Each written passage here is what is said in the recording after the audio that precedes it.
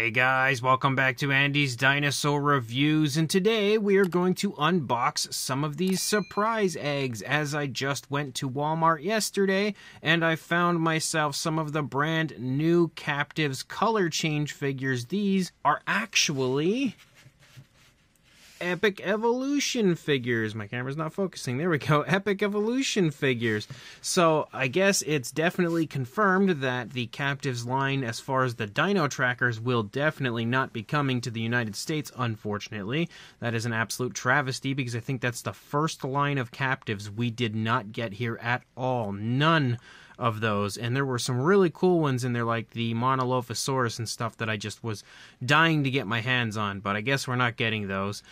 So I guess we're now on to the Epic Evolution figures, and what we do have does look pretty fun. Again, we've got some pretty cool looking colors for the eggs this time around. Normally, you just get that one color for all of the eggs. This time, it appears as though we've at the very least got three different colors, and I did pick up two of each of the different colored eggs that were at my Walmart, so I grabbed just six for now, and then we'll see what we get. Maybe I'll grab some more later on. Well, I'm definitely hoping to get the entire line complete, so I guess I've got to grab some more at some point. Just wanted to grab six right now just to check them out. But you can see the artwork here on these new eggs. It's pretty cool. You can see we've got a really nice image of the Rex. If you come over here, you can see you can watch your dinosaur change colors in water, which is really quite interesting. And then, of course, we have over here states that there is color changing slime. And then we've got a nice image of the Triceratops there. I don't know if I'm really going to do the color change thing right now. I think what I'm going to basically do is just unbox them. And then when I get the entire line, then maybe we'll do the color change thing to see how they look from there.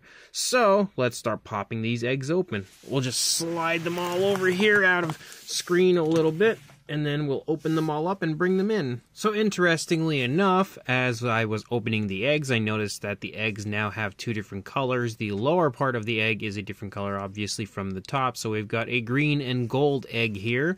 And then once we pop it open, the packaging on the inside now has the color change slime, and they actually have it labeled again as far as the slime goes. I'm never really all that interested in the slime, so we're just going to pass on checking that aspect out because I don't play with slime. That usually just ends up going to either one of my uh, nieces or nephews or just going in the garbage. But you can see what the actual uh, packaging looks like for the dinosaur, which is pretty cool. I like that it has, of course, the color change thing going on here, showing off the, uh, again, hot and cold aspect, and then an image there of the T-Rex here with two different color schemes, which both actually look pretty neat for it. So the very first dinosaur that we have here is Oh, it's the Kentrosaurus. How about that one for the first one that I get? That is like the best one that you could possibly get, I think, for the first one because I don't remember what all the species are that are in this new wave, but I know for sure that this is one we haven't had previously, and man, that is an absolute beauty of a figure. That one is really, really nice looking. I am honestly always so impressed by the Captivz figures. And look at you've got all of the spikes and everything painted out. The plates up there are painted nicely. Everything looks honestly gorgeous on this Kentrosaurus. And then we'll go ahead and see what. Oh, look at this. So they've continued the cards. I did not know that this was something that was going to be happening. That is awesome. That makes me so much more excited. And actually, I wonder if the Dino Trackers figures had cards. That's actually going to kill me even worse if they did, because I honestly love collecting these cards. And again, the Kentrosaurus card has a really nice sort of shiny effect to it, almost like a glittery sort of a look. That is absolutely epic. And then you've got a really cool, eh, absolutely epic evolution. Then you've got a really cool shot of the Kentrosaurus on the back. And now we can get a look at what the entire lineup is for this round of these figures. So, as we dive into these, you can see we've got ourselves an Indoraptor, a Dimorphodon, a Triceratops, a Kentrosaurus, the Mosasaurus, Dilophosaurus, Pyroraptor, Carnotaurus, T-Rex, a Troceraptor, Indominus Rex, and Giganotosaurus. And then over here, we don't really have anything as far as like rare figures go this time around, it seems, but you can see some stuff over here basically promoting the color change aspect and everything that they have going on for these figures.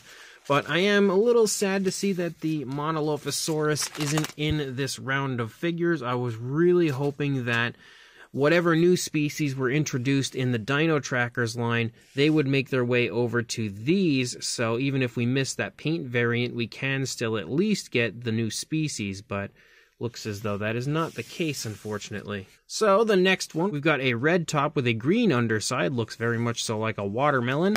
And then we'll go ahead and pop this open. Of course, remove the slime. We're only interested in the dinosaur. Now we'll go ahead and open the dinosaur and see what we've got going on in here.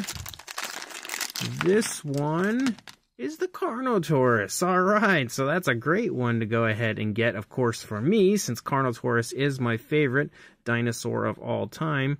It is definitely still the same Carnotaurus sculpt that we've had previously, with some recent updates to some of the figures. I was kind of hoping we would get a different sculpt as far as the Carnotaurus goes, but looks as though it is still the exact same one. I will say though the eyes definitely look a lot better on this version compared to the previously released version where the eyes were always huge. And then of course we've got ourselves a card for the Carnotaurus and I like how the Carnotaurus has like, you know, half of the body one color, half of the body a different color. And uh, it appears as though I don't know for sure if this matches up with the figure itself, but it appears as though it's going to turn green which uh, is pretty cool because that might give it the look of the novel version of the Carnotaurus. But you can see again Escape from Carnotaurus and then a really cool shot here on the back. Definitely really neat looking artwork. Then we've got ourselves a gold and red egg as well, and that would take care of the different color variants of these eggs.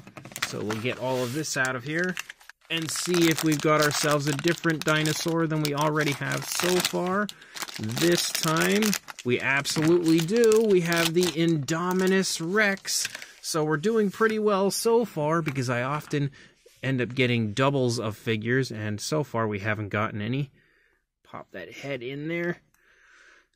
Boy, that head is going to be a tough one. That is definitely not going to go in easily right now, which does not surprise me because that happens a lot to me some of them will go in so smooth and then other ones will take some real convincing. So you can see the Indominus is definitely cool looking. They've definitely given it a very different color scheme compared to what we see in the uh, film in Jurassic World. I will say it almost looks like maybe they're a little smoothed out compared to what they used to be. I don't know if it's because of the color change gimmick, but they almost seem like they uh, are just a little bit smoother as far as the detail goes. That one does not want to stand. So I don't think the Indominus is going to stand right now. But we do, of course, have the card for the Indominus. And, of course, that classic shot of the Indominus trying to take down the Ankylosaurus with the gyrosphere in the background. Definitely really cool. And then, again, some more awesome artwork on the back. The next egg, we're back to the red and green, the watermelon one. So we'll get all of this stuff out of here. And then we'll see what dino we have in this bag here. We absolutely have a different one that we didn't get so far, which is the Triceratops. Quite the interesting looking color scheme on this one as well. Boy, the first two were so deceiving because they went together so easily. Now the uh, Triceratops, oh man, and Indominus Rex are very different, but Again, a pretty cool looking color variant of this figure. We have had the Triceratops, of course, numerous times in the past, but that doesn't make it any less appealing, any less cool looking with this newest version. And then we also have the card, again, sporting that really cool, again, very glittery kind of look for the Triceratops, and then, of course, Triceratops Fugitive at large. I like that it's basically saying where it was last seen and stuff at Big Rock, actually, National Park. So that's really quite cool as well. Oh, also, we have the back, which sports another nice image of the Triceratops. And then we're back to the golden red. And I always grab the wrong one first. We'll just get all of that out of here. And then this one seems a little bit thick, so I'm almost feeling like it might be a different one than we've had so far, too. We'll see here in just a minute. It definitely is. It's the Dilophosaurus. And uh, straight out of the gate, I'm kind of sad to see that they've used the older Dilophosaurus sculpt rather than the newer one for this line because the newer one is far superior to this one. This is uh, definitely the less appealing of the two, but I will say the color scheme they've given it is actually quite interesting. Very cool looking. And again, they always go so far to give you a really nice paint job on your figure whenever it's uh, a, you know, a Captivz figure, even if it's a mini, they still do a great job. Look, you can even see variation of color even on the back of the frill, like they've given it like a dry brushing or something to highlight the detail. So that's really impressive. It's actually, the color of this one is very reminiscent to an older Mattel Dilophosaurus that we had. And he is also not going to stand. The legs are a little warped from in the packaging, but then we've also got the card and the card sports some awesome Dilophosaurus art here, and you can see that it looks pretty cool. We've got Dilophosaurus, the Toxic Terror, and then some more on the back here as far as that Dilophosaurus. I'm starting to think that maybe if you get the entire line, they all combine to kind of create a very cool poster, but I could be wrong. Kind of looks that way, though. And the final egg we have, we'll see what the last one is. Oh, every single time I get the wrong one. We'll see what the last one is that we got here. Hopefully it is not a uh, repeat or anything. Hopefully it's not one that we already have here. But if it is, you know, that's just the way it rolls, I guess. I'd be pretty impressed if every single one was a figure that was different from the other. And it actually is. Would you believe that? That's actually impressive. But we now have the Dimorphodon here as well, and the head is on. And uh, this is actually another one that I feel like, even though it is pretty cool looking, it's another one that I feel like could definitely use an upgrade, like as far as the sculpt goes, because I just feel like with how good they are at sculpting dinosaurs out at times, like look at that Kentrosaurus, that is beautiful they could definitely do a more updated, better looking Dimorphodon at some point. But this one is still pretty cool. Definitely an interesting paint scheme for it. And of course, at some point, whenever I can get the full line, I am quite intrigued to see how they look when they change colors.